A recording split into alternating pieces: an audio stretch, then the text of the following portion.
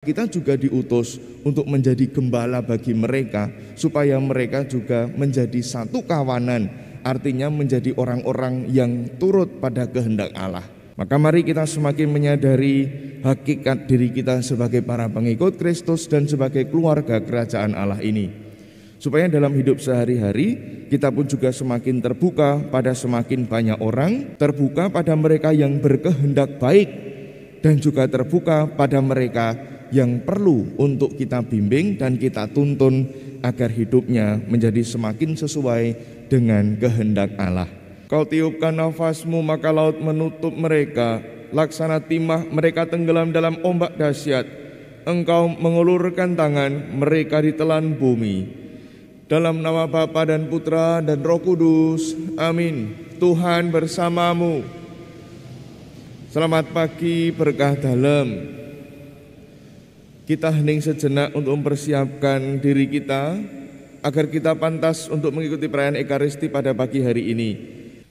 Ibu bapak dan saudari-saudara yang terkasih, selamat pagi berkah dalam. Suatu ketika setelah membaca bacaan ini, saya ingat betul saya sudah di sini. Kalau tidak salah, awal-awal saya di sini. Suatu ketika setelah membaca bacaan ini, saya didatangi oleh seseorang, bukan umat sini, tetapi orang lain. Dilalah kok yo pas. Paginya bacaannya ini, siang ada orang yang datang, lalu dia mengungkapkan kegelisahannya. Dia ini sedang mengadakan sebuah penelitian untuk tesisnya dan yang menjadi tema itu adalah tema feminisme dalam gereja. Lalu kami berdiskusi. Dalam diskusi itu terlihat bahwa orang ini merasa tidak terima, itu kan, tidak terima dengan salah satu ayat di dalam kitab suci dan yang dia rujuk itu persis bacaan ini, bacaan yang pada pagi harinya saya baca di tempat ini. Nah, dia merasa tidak terima karena begini, bukankah ibu itu adalah sosok yang luhur? Kenapa Yesus yang menjadi teladan bagi kita justru mengungkapkan dengan nada yang sedikit sengak kalau mau dirasakan. Sopo mbokku, sopo sedulurku, nah bahasa Jawa kan kayak gitu. Siapa ibuku, siapa saudaraku?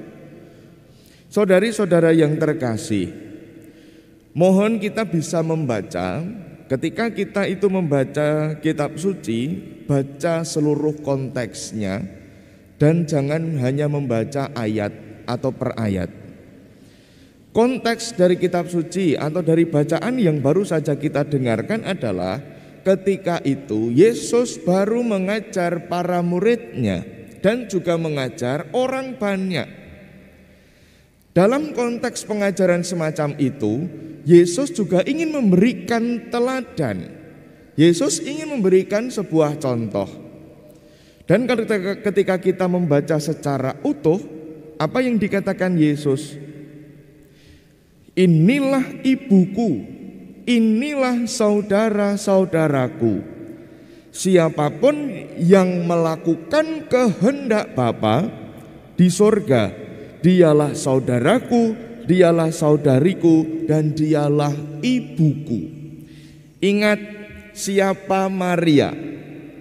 Maria adalah teladan bagi kita semua di mana dia sungguh menjadi orang yang taat kepada kehendak Allah seutuhnya.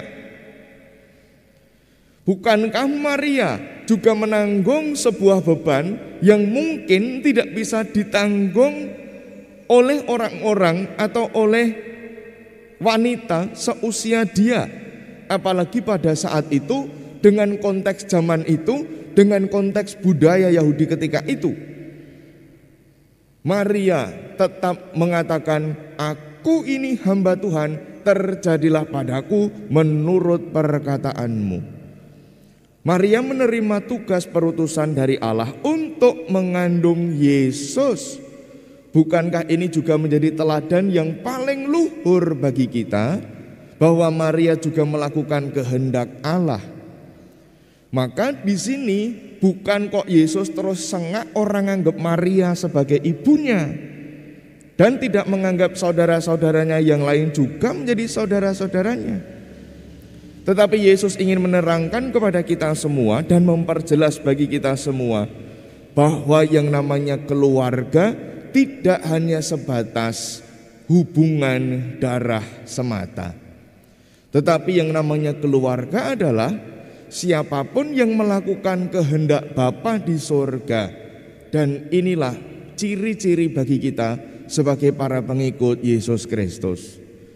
Maka di mana pun kita berada, bukankah kita bisa selalu merasa diterima?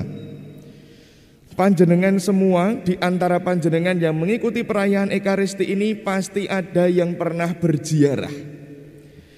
Apa yang Anda alami ketika Anda berziarah? Apakah Anda kemudian tidak boleh masuk di dalam tempat peziarahan? Apakah kemudian orang-orang yang ada di sekitar tempat peziarahan itu lalu melempari Anda dengan batu? Tidak kan? Tetapi justru ketika kita berziarah mereka menerima. Ketika kemudian mau merayakan perayaan Ekaristi di suatu tempat, mereka pun juga menyediakan semuanya dengan tulus ikhlas supaya tempat itu bisa digunakan untuk perayaan Ekaristi ketika kita berziarah atau ketika kita berkunjung dari satu gereja ke gereja yang lain. Apakah di gereja yang lain kita akan ditolak? Tidak kan? Bukankah kemudian di gereja yang lain mereka juga telah sibuk mempersiapkan segala sesuatu sibuk menyiapkan makanan, sibuk menyiapkan minuman, sibuk menyiapkan penyambutan untuk menyambut kedatangan kita semua. Ini adalah ciri-ciri sederhana di mana kita semua bisa diterima sebagai anggota keluarga oleh siapa pun yang bahkan belum pernah kita kenal.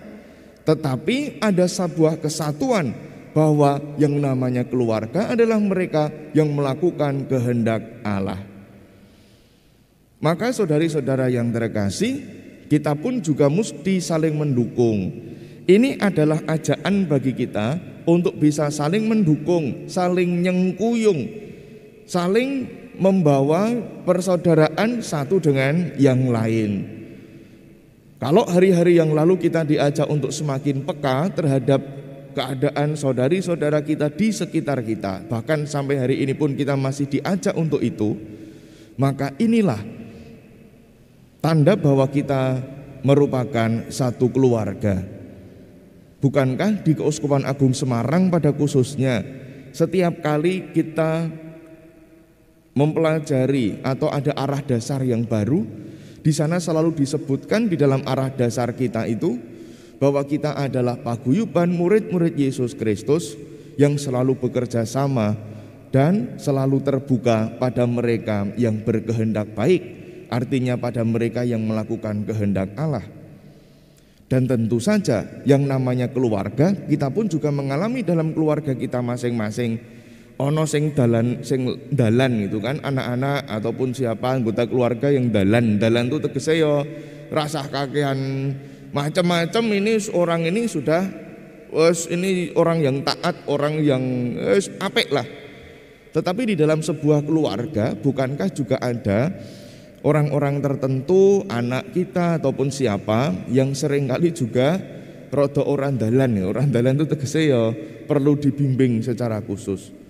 Maka ini juga menjadi tugas kita untuk menjadi pembimbing bagi saudari-saudara kita yang melenceng atau jauh dari kehendak Allah.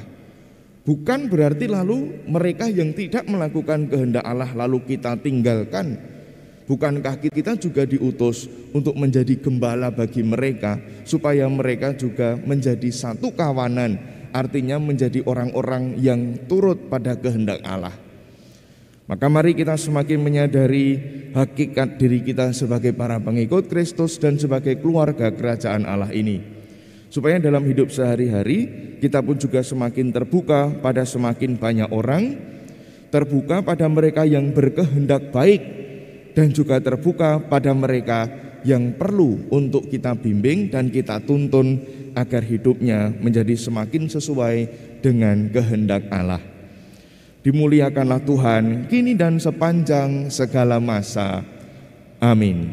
Ibu bapak dan saudari-saudara yang terkasih, para suster dan saudara-saudaraku, terima kasih atas kebersamaan kita dalam perayaan Ekaristi pagi ini.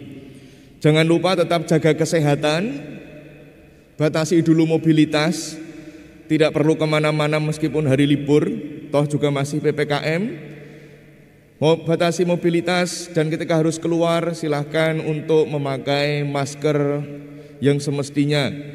Patuhi protokol kesehatan 5M dan 2B. Jangan lupa untuk terus-menerus menjaga kesehatan diri dan juga kesehatan yang lain. Dan jika nanti berjumpa dengan saudari-saudara kita yang hari ini merayakan Idul Adha, tolong sampaikan salam saya Selamat merayakan Hari Raya Idul Adha. Semoga Tuhan memberkati saudari-saudara kita yang merayakan dan juga kita semua. Dan semoga dengan demikian semakin terciptalah kerukunan dan juga kedamaian di antara kita semua. Dan semoga kita juga diberkati dengan rahmat Tuhan, rahmat kesehatan, dan juga rahmat kedamaian. Dan semoga pandemi ini juga segera berakhir.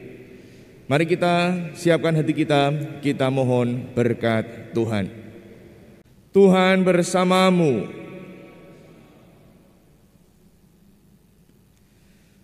Kita semua, sanak saudara kita yang kita bawa dalam doa, keluarga kita dan komunitas kita, senantiasa dibimbing, dilindungi, dan diberkati oleh Allah yang Maha Kuasa, Bapa dan Putra dan Roh Kudus. Amin. Dengan ini perayaan Ekaristi kita telah selesai. Mari kita pergi, kita diutus. Amin.